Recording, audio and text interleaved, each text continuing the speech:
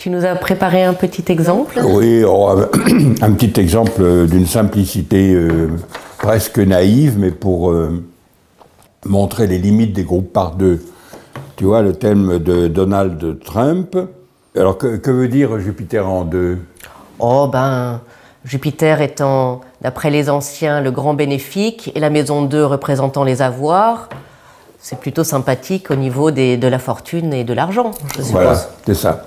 Alors si tu regardes le Jupiter de Trump, eh bien, précisément, il est en fin de maison 2. Toi, la maison 2 s'étend sur cette distance, il est là. Ben oui, mais il est bien multimilliardaire. Donc, impeccable. Là, pour les gens, des partisans des groupes par deux, disent, vous voyez, Jupiter, il se trouve bien en maison 2 du thème d'un milliardaire.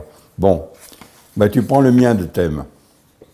Tu prends le mien de thème et tu vois que Jupiter est en conjonction de la pointe de 2, tu vois, presque en 2, pour pas que je sois né un tout petit peu plus tôt. Il est juste à la pointe. Et en plus, il est en Sagittaire, en domicile. Donc je devrais être multimilliardaire. eh bien, euh, je, je, fais partie de la classe tout à fait moyenne, quoi. Hein. Donc c'est pour donner les limites des groupes par deux. Bon, c'est un exemple très simple, très amusant, euh, mais euh, qui ne va pas loin, mais en fait qui est quand même significatif. Donc nous poursuivons avec la méthode globale de Claire Sant'Agostini, avec deux thèmes qui sont extraits de son livre L'horoscopie cartésienne. Et François Villet, tu vas nous parler du thème de Guy de Maupassant et de celui de Vincent d'Indy. Voilà. Eh bien, ce sont euh, deux exemples utilisés par Claire Sant'Agostini pour montrer euh, les limites de ce qu'elle appelait les groupes par deux et euh, avec lesquels elle n'était pas d'accord. Alors tu vois donc euh, Guy de Maupassant, Vincent d'Indy. Qui était Vincent d'Indy, peux-tu nous le rappeler? Bah, C'était un grand musicien, un grand compositeur d'édition musicale. D'accord. Voilà. Guy de Maupassant, ce n'est pas la peine de le préciser. Guy de Maupassant, alors lui était hyper connu. Voilà.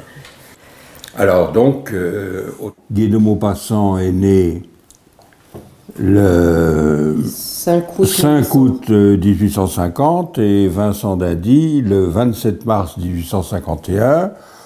Ils ont tous les deux l'ascendant dans le signe de la Vierge. Tu reconnais ces trois symboles qui sont donc ceux de Uranus, Pluton et Saturne. Voilà. Ici Uranus, Pluton et Saturne. Et tu vois que ils sont dans les mêmes signes du bélier et du taureau. Oui. Tu vois pour mon poisson, tu vois ici pour Vincent Nady, euh, tout en bélier pour Vincent Nady. Et puis, à la limite du bélier et du taureau pour euh, Guy de Maupassant, et surtout, tous les deux dans la même... Maison 8. La maison 8. Alors, qu'est-ce qu'elle gouverne, la maison 8 Tous les astrologues le savent. Hein. Oh, ça gouverne les grandes crises, les grandes transformations, la mort, en l'occurrence. Voilà. Alors donc, euh, autrement dit, euh, tous les manuels vont, toutes les définitions astrologiques des groupes par deux vont nous donner Uranus en 8, Pluton en 8, Saturne en 8, vont nous parler des conditions de la mort. Oui.